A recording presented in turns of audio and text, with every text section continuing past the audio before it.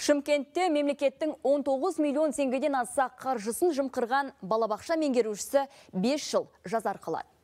Ол 3 жыл бойы базаға жалған директор енгізу арқылы қосымша ақша алып келген. Яғни балапан бағдарламасымен мектепке дейінгі білім беруді жан басына шаққандағы қаржыландыруға бөлінген ақшаға қол сұққан. Бұл істі қаржылық мониторинг агенттігінің қызметкерлері анықтады.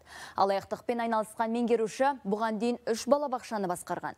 Мектепке дейінгі мекемеге ешқашан бармаған. Тек қағаз жүзінде ғана аты жөні тіркелген сәбилер туралы дерек осы үш балабақшадан табылып отыр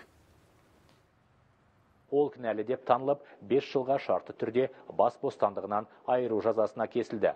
Мемлекетке келтірілген 19,3 миллион теңге залал толығымен өтелді.